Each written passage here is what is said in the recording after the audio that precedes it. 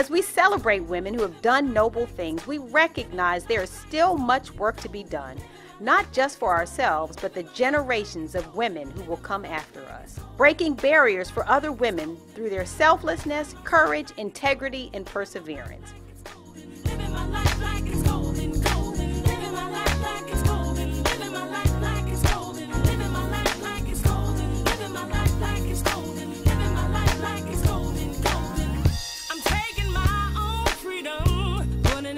saw